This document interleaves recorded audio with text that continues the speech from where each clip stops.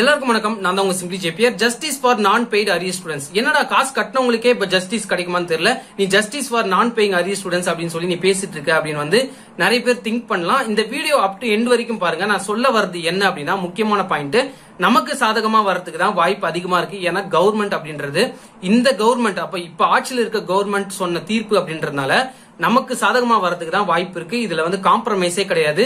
எடப்பாடி அவர்கள் ரொம்ப ரொம்ப உறுதியா இருக்காரு. சோ இந்த ரெண்டு வாரம் இடைப்பட்ட காலத்துல இந்த செப்டம்பர் தேர்ட்டிக்கு வந்து பாத்தீங்கன்னா நம்மளுக்கு தீர்ப்பு அப்படின்றது வருது. இந்த ரெண்டு வாரம் ரெண்டு வாரம் இடைப்பட்ட டைம்ல வந்து பாத்தீங்கன்னா இப்ப நான் பெய்டு அரியர் ஸ்டூடெண்ட்ஸ் என்ன திங்க் பண்ண வந்துட்டாங்க இப்ப ஃபைனலா என்ன தாட் அவங்களுக்கு போயிட்டு இருக்கு அப்படின்னா ஸோ பெய்ட் பண்ணவங்களுக்கு காசு கட்டினவங்களுக்கு மட்டும்தான் தீர்ப்பு அப்படின்றது வந்துடும் நம்மளுக்கு வந்து கண்டிப்பாக மறந்துடுவாங்க போல இருக்கு. இப்போ யாருமே நம்மளை அதை பற்றி பேசல.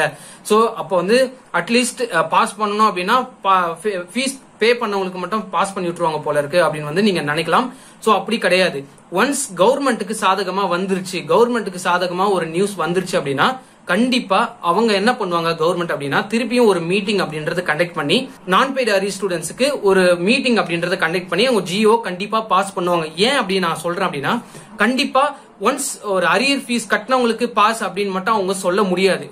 கவர்மெண்ட் கவர்மெண்ட் தரப்புல இருந்து நம்ம பார்க்கும்போது காசு கட்டினவங்களுக்கு மட்டும் பாஸ் அப்படின்னு அவங்க சொல்லவே முடியாது. இதுல பாகுபாடு பார்க்க முடியாது. ஏன்னா இப்ப த- இப்ப வந்து சூசைட் முடிவு பண்ணிக்கிறது ச- பசங்க வந்து சூசைட் முடிவு பண்ணிக்கிறதுலாம் எடப்பாடி அவர்களுக்கு நல்லாவே தெரியும். இப்போ ஒரு ரீசெண்டா ஒரு நேத்தோ முந்தா நேத்தோ ஒரு நியூஸ் வந்து கொடுத்துன்ற மாணவ செல்வங்களை நீங்க வந்து உறுதியுடன் மன உறுதியுடன் இருக்க வேண்டும் அப்படின்னு வந்து ஒரு பிரஸ் ரிலீஸ் பண்ணியிருந்தாருன்னு எல்லாருக்குமே தெரியும். சோ அந்த மாதிரி ஒரு விஷயம் வந்து கண்டிப்பா பார்சியாலிட்டி பார்க்க மாட்டாங்க. எப்பயுமே ஒரு கவர்மெண்ட்டுக்கு சாதகமா வந்துருச்சு செப்டம்பர் தேர்ட்டி வந்துச்சுன்னா பார்சியாலிட்டி அப்படின்றது கண்டிப்பா பார்க்க மாட்டாங்க. இதுல பயப்பட வேண்டிய ஒண்ணுமே கிடையாது. ஒன்ஸ் என்ன வரும் அப்படின்னா செப்டம்பர் தேர்ட்டி பாசிட்டிவா தான் வரும். ஹண்ட்ரட் பர்சன்ட் நான் உறுதியா இருக்கேன். நீங்க உறுதியா இருக்கீங்களோ இல்லையா தெரியல. நான் உறுதியா இருக்கேன். காரணம் என்னன்னா எடப்பாடி அவர்கள் கண்டிப்பா பேக் அடிக்க மாட்டாருன்னு எனக்கு நல்லாவே தெரியும். ஏன்னா அரசியல் இப்போ வந்து பாத்தீங்கன்னா எலெக்ஷன் வருது. அது அது அந்த பிரச்சனை நம்மளுக்கு தேவையில்ல. சோ மண்டையில வந்து ஏத்திக்க தேவையில்ல. ஆனா இது வந்து உறுதியா எடப்பாடி அவர்களுக்கு சாதகமா தான் வரதுக்கு நிறைய வாய்ப்பு இருக்கு. ஏன்னா முன்னாடியே அவர் வந்து பரிசீலனை பண்ணி ஒரு குழு அமைச்சு அதெல்லாம் பண்ணி தான் வந்து பாத்தீங்கன்னா அறிவிப்பு அப்படின்றது பண்ணியிருந்தாரு. சோ அப்படி இருக்க நிலைமையில இப்போ எந்த ஒரு விஷயமும் தப்பா மாறதுக்குலாம் வாய்ப்பு இருக்கு. ஒன்ஸ் நம்மளுக்கு வந்து அரியர் எக்ஸாம்ஸ் பாஸ் அப்படின்னு சொல்லிட்டாங்க அப்படின்னா கண்டிப்பா நான் பெய்ட் அரியர் ஸ்டூடெண்ட்ஸ்க்கு அடுத்த ஒன் வீக்ல ஒரு ஜியோ அப்படின்றது கண்டிப்பா பாஸ் ஆகும். ஸோ இதுல வந்து மாற்று கருத்தே கிடையாது உங்களை மட்டும் விட்டுட்டு அவங்க வந்து ஃபீஸ் கட்டினவங்களுக்கு மட்டும் பாஸ் போட மாட்டாங்க. ஸோ இது வந்து எனக்கு நல்லா தெரியும். நான் உறுதியா சொல்றேன்.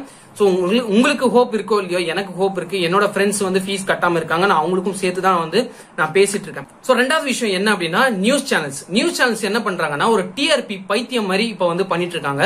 ஸோ டிஆர்பிக்காக என்ன பண்றாங்க அப்படின்னா ஒரு நியூஸ் ஒரு லெட்டர் வருது அப்படின்றாங்க. அது ஃபேக் லெட்டரோ உண்மையான லெட்டரோ ஏதோ ஒரு லெட்டர் அது வந்து வருது அப்படின்னா அதை எப்படி சொல்லணும்? எந்த விதத்துல ஆல்ரெடி பசங்க பயத்துல இருக்காங்க. ஸோ இப்படி இருக்க நிலைமையில பிளாஷ் நியூஸ் அப்படின்னு சொல்லி ஒரு மியூசிக்கை ஒன்று போட்டு அதுக்கு ஒரு பிளாஷ் நியூஸ்னு சொல்லி அது வந்து அரியர் மாணவர்களுக்கு ஏஐசிடி ஒத்துக்க மறுப்பு அப்படின்னு வந்து அது ஒரு நியூஸ் அப்படின்னு சொல்லி பசங்களை வந்து பயமுறுத்தியே வந்து பாத்தீங்கன்னா அவங்க டிஆர்பியை ஏத்திட்டு இருக்காங்க இதுல வேற போட்டா போட்டி வேற. எல்லா நியூஸ் சேனல்ஸுக்கும் போட்டா போட்டி வேற டிபேட் நடத்துறானுங்க. ஒரு பக்கம் வந்து பாத்தீங்கன்னா நைட் ஏழு மணிக்குன்னு பார்த்தா ஒரு டிபேட் நடக்குது.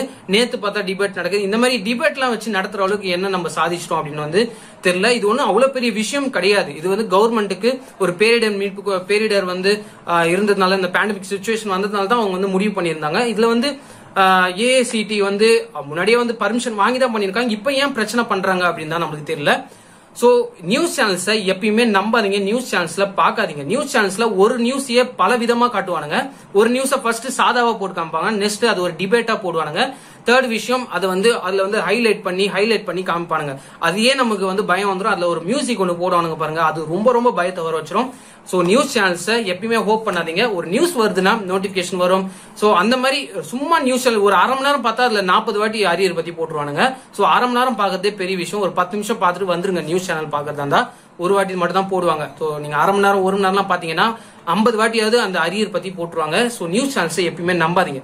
சோ தேர்ட் விஷயம் என்ன அப்படின்னா கவர்மெண்ட் இப்ப நம்ம இருக்க கவர்மெண்ட் எடப்பாடி அவர்கள் கிட்ட ஒரு விஷயம் போய் எடப்பாடி அவர்கள் கிட்ட போயிட்டு இந்த மாதிரி ஏஐசிடி சொல்றாங்களே நீங்க உங்க கருத்தை சொல்லுங்க அப்படின்னு சொல்றாரு.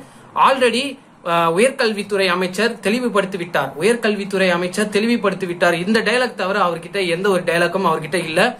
அவர் சட்டுன்னு ஷார்ப்பா சொல்றாரு. சோ அவர் வந்து பாத்தீங்கன்னா எந்த ஒரு வதந்திகளும் நம்பாதீங்க.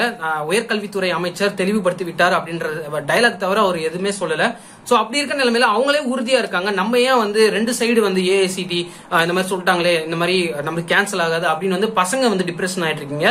ஸோ கவர்மெண்ட் சைட்ல அவங்க ரொம்ப ஷார்ப்பா இருக்காங்க. கண்டிப்பா இவங்களுக்கு பாஸ் பண்ணி தான் விடணும். நம்ம சொன்னதை பேக் அடி நேத்து ஒரு மேடம் சொல்றாங்க அதிமுகவை சேர்ந்த ஒரு மேடம் சொல்றாங்க. முன் வைத்த காலை பின் வைக்க மாட்டோம் அப்படின்னு சொல்லி ஒரு டயலாக வந்து வெளியிடுறாங்க.